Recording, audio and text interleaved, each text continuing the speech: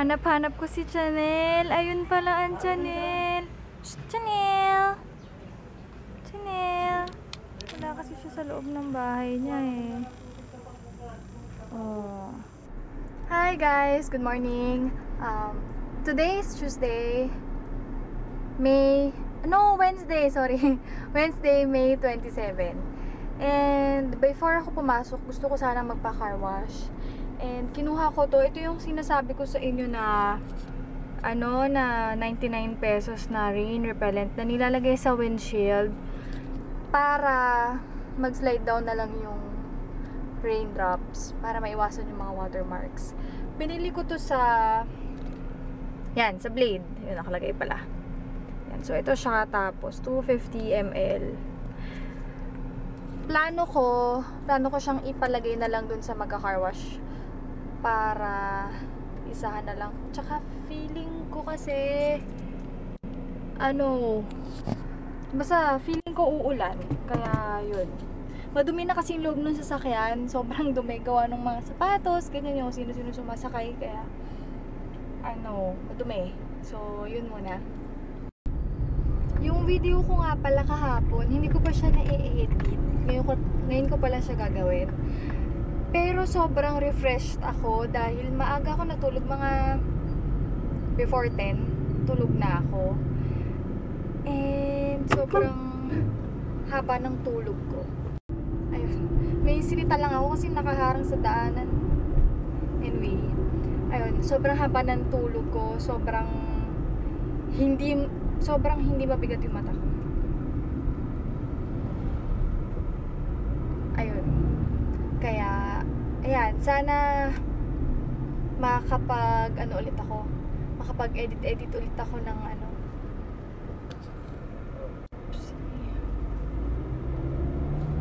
Ayun, ng dating oras ko. Total, yun nga, nakapag-recharge na ako. So, malapit na ako dito sa car wash. And mamaya, mag-vlog ako ulit. Siguro habang nilinisan na lang yung sasakyan. Ang daming nagpapa-car wash.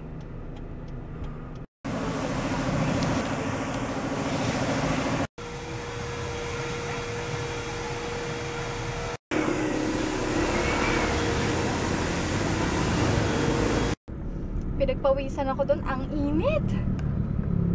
Yun, so okay naman. Ang sarap ng feeling kapag bagong linis yung sasakyan. Parang feeling mo bago rin yung sasakyan mo pag bagong linis. At saka, parang feeling mo lumamig sa loob. Parang ganun, may psychological effect siya. Yun nga lang, after mo magpa-car wash, ano, ulitin mo na yung mga aircon, aircon mo na ano, na lilihis, may nasasara, may gano'n nagagalaw. Ayun. Tsaka, tingnan natin kung effective yung rain repellent na pinalagay ko. Tingnan natin kung uulan mamaya.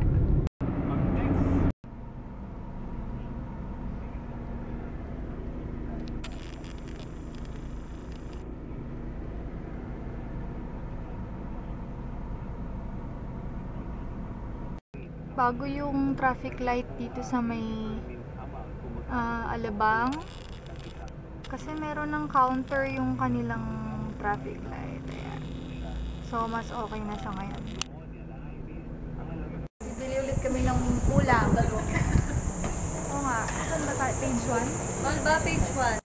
Page 1. Bago pa eh. Okay, page 1. Nabusan na kami ng ulam. Lipat ulit kami sa NOL. Puro turo. Puro turo lang. Um, ano tawag? Hindi ko alam anong tawag dito. Ah, Hindi. ito. Ito. Ate, Lutet. Ano nga ba? Hindi ko rin alam eh. Pero may ampalaya. Ito, liver steak. Magkano yan? Um, binagoong alam. Gulay. Kulay po ito nandito sa kabila. Ano? Tawag. Tawag. Toge. Togi na lang siguro sa akin. Hello, order ma'am. Hello. Toge. Daw? Daw? kangkong. At saka init. Wow. Hello?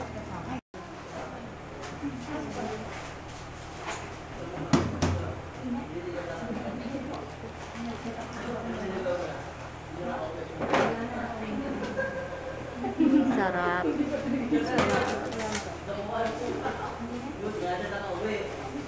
Kung sa ba, ma'am? Sa'yo, ma'am? Sa akin po.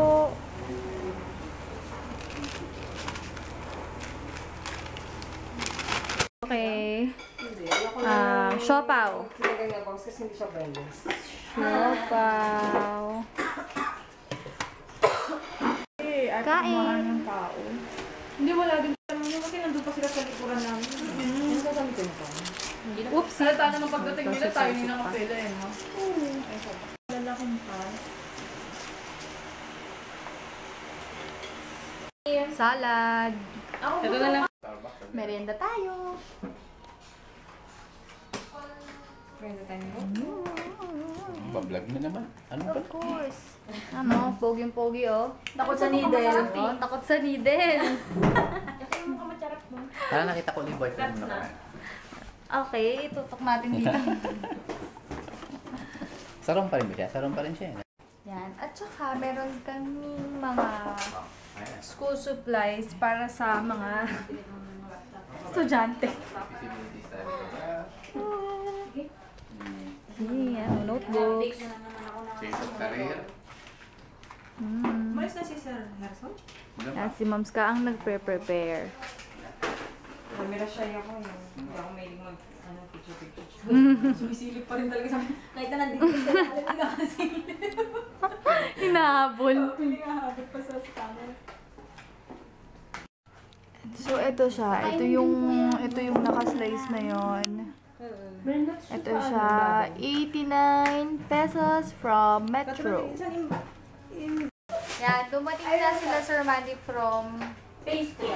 Nagtitinda po kami ng. Yan. So, ayan ang dala nila. Ayan po. Oatmeal, that's yummy. Caramel bars and And then attach pa. Excuse me? Yun pa pala. Ang tawag dyan. Ah, Hi, I will help you. That's too many. Okay, that's a lot. Dami naman. Paano nabubusin yan? Paano sa yan? Bukas naman. May bukas pa. Meron na na siopaw. Tama. First in, first out. First in, first out.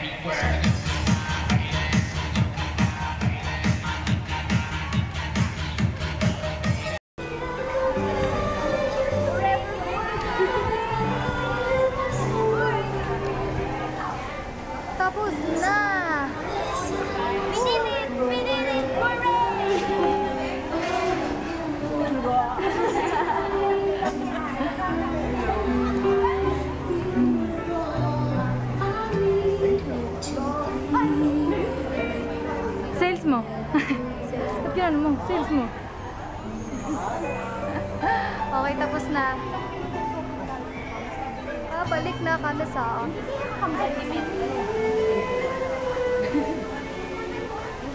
Sabi na nga, be, gusto gusto na lumakit eh. Napitan siya. Kaya. Ba't ako? Ikaw kayo kanausap niya? Oo nga. Hindi mo siya pinansin? Pinansin.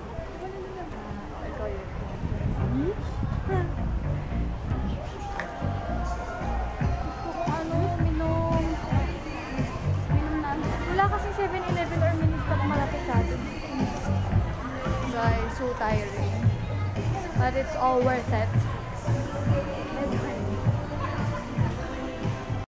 Yan, dito ko ngayon sa Senyor Pedro. Bibili lang ako ng ulam.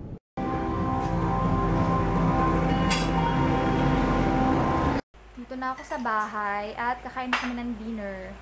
Yan ang ulam namin.